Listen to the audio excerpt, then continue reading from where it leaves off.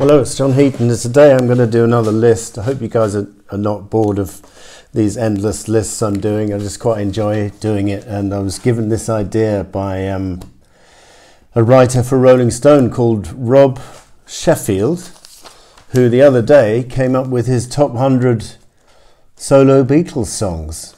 Uh, so I thought, well, there's a challenge I can't resist. Um, and as as always, you know, he had some interesting choices which didn't make my list. Um, he even had Pure Smokey from George Harrison in the top ten, which I thought was very interesting.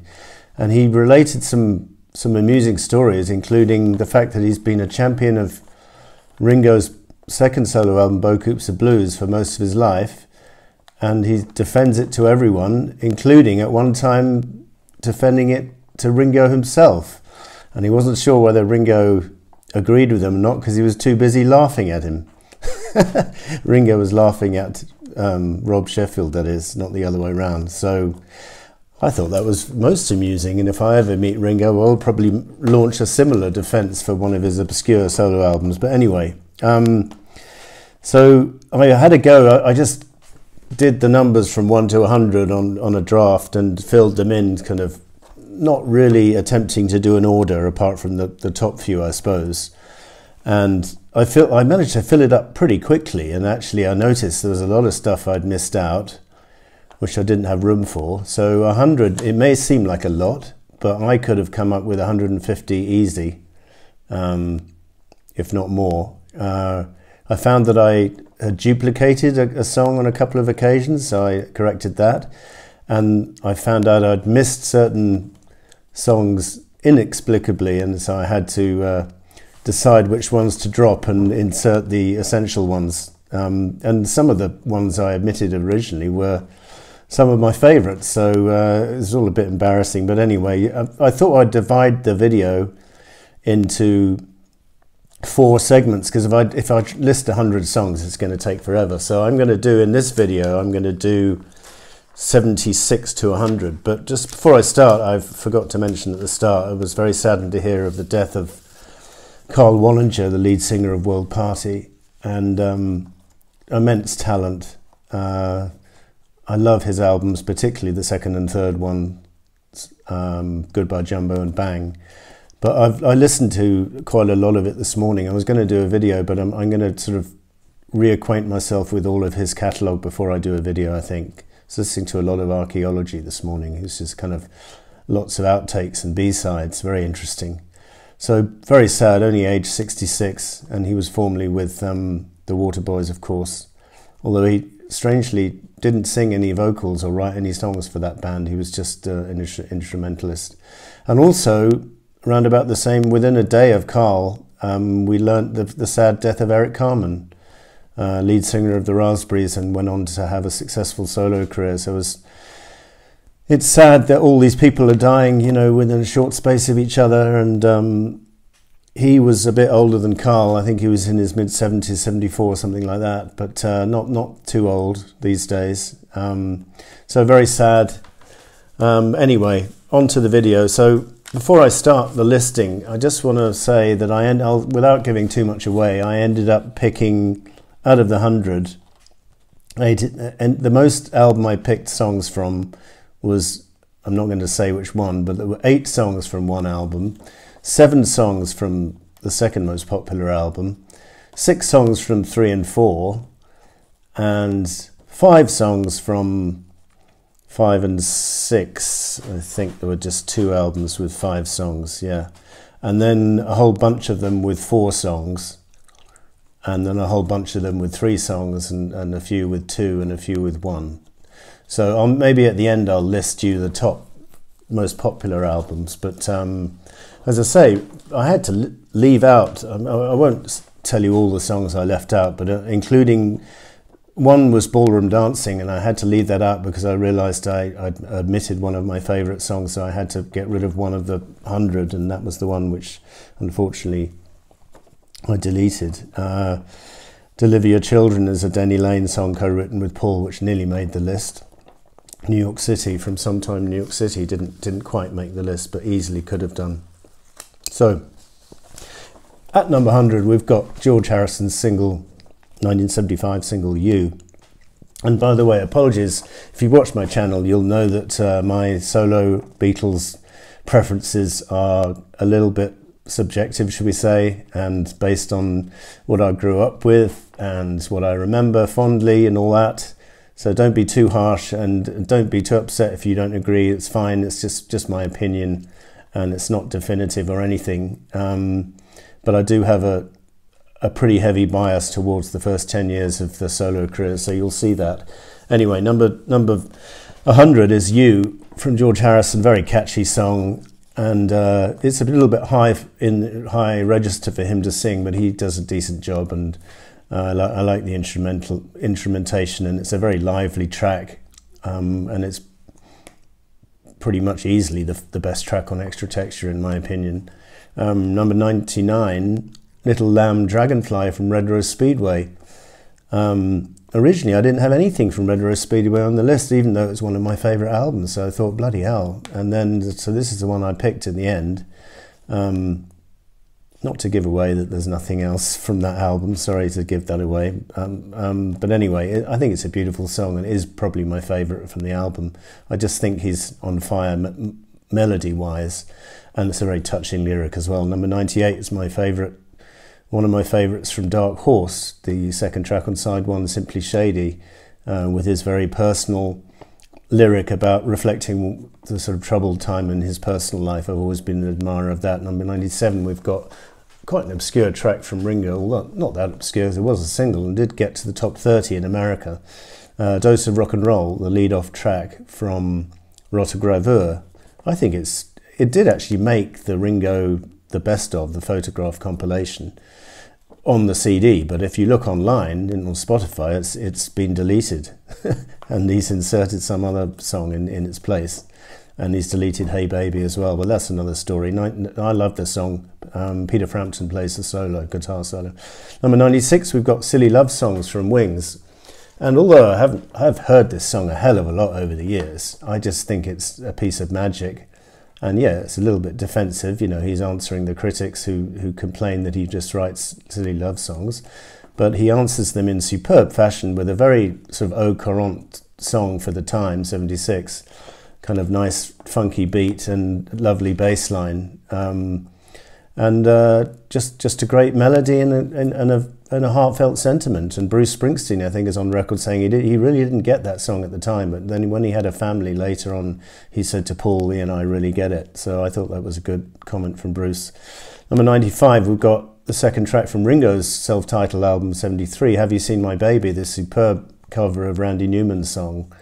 Um, with the brilliant piano solo and the and the brilliant guitar solo from Marc Bolan, and um, Ringo sings it really well, and I love the lithograph from Klaus Voormann to illustrate this song with, with Ringo looking out the window and his wife with the milkman. It's hilarious. Um, number 94, we've got It's So Hard from John Lennon from Imagine. Uh, I could have picked New York City in, in its place here, but I, I just think It's So Hard works really well. If you turn this one up loud, and the strings are really nice uh, accompaniment to the sort of rocking song.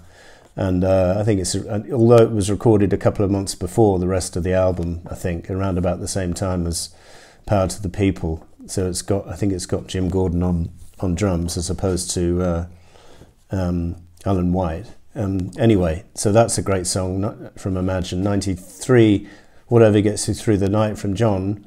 Um, again, I've heard this song a hell of a lot over the years, but I still think it's infectious and um, it wins me over every time I listen to it. Another one, good, good to put it up loud. Uh, I like, I like the words. Don't need a sword to cut through flowers.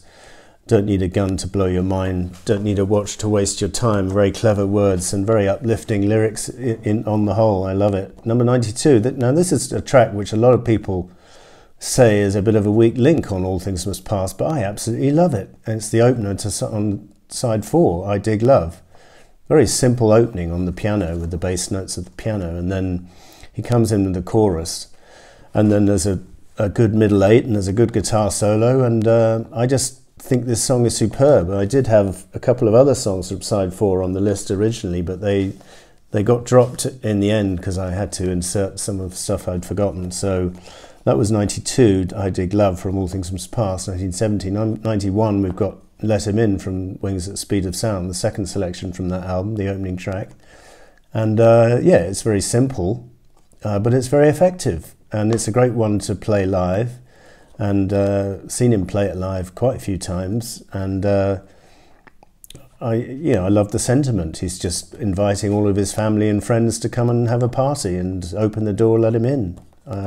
Love everything about the song and, number, and very good production and band performance from Wings on that song.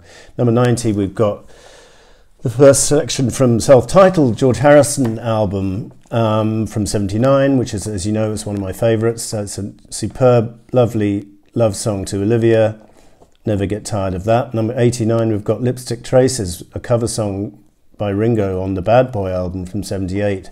I just love it from the opening pounding piano from Dr. John um, into the, the very catchy verse and chorus. I think it's probably my favourite track on the whole album of that Bad Boy album. Number 88, we've got a selection from Wildlife, Wings' first album from 71. Some people never know. I've chosen the opening track from side two. I mean, it does go on a minute too long. That's the only criticism I would have. But other than that, it's a beautiful melody and a heartfelt lyric, lyric about him and Linda together sharing things and love it. 87, and this is one I missed out originally because I was thinking I wasn't going to include live versions, but I have succumbed and I've put Venus and Mars Rock Show, the live version from Wings Over America. The studio version wouldn't make the cut but when they do it live, I think they really do it justice, and it's just a superb opener to the 75 76 World Tour. Um, brilliant, and it's on the video rock show, of course. Uh, number 86, another selection from self titled George 79, Love Comes to Everyone, the opening track. Uplifting, very optimistic lyrics, but none the worse for that. Lovely guitar, lovely melody, lovely keyboard work from Steve Winwood. I love everything about that track is great. Number 85, a track from one of my favourite solo albums, as you guys probably know, London Town. So I've chosen Don't Let It Bring You Down from side two. I think it's just absolutely superb and shows Paul demonstrating the, the range of his vocal repertoire from the falsetto down to the, the bass notes. Uh, very well illustrated on this song and lovely tune, co written with Danny Laine that one. 84, we've got Wah Wah the third track from All Things Must Pass. Very good track. Crank this one up loud. Some people don't go for the wall of sound, but I think it's damn effective on this one. And uh, uh we all know the history of this song that he left the Beatles in, on the 10th of January 69, went home and wrote this song. Well, even if, if that was the inspiration for it, then good things come out of a sad situation, and this was a good song.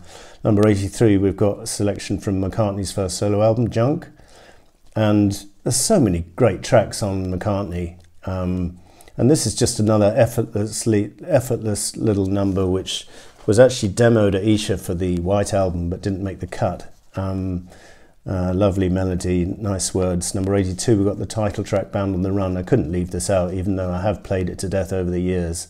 Uh, been reinvigorated um, on that album with the recent reissue with the uh, the rough mixes, and uh, it's just a piece of genius, whichever way you look at it, even if it is overplayed. It's just a masterpiece. Probably should be higher on the list. Number 81, I've got Loser's Lounge from Ringo from Beaucoups of Blues. So Rob Sheffield will be happy. I think he put it in his list as well, I seem to remember. In fact, I'm sure he did. Um, very up tempo country and western song, fast guitar work, great.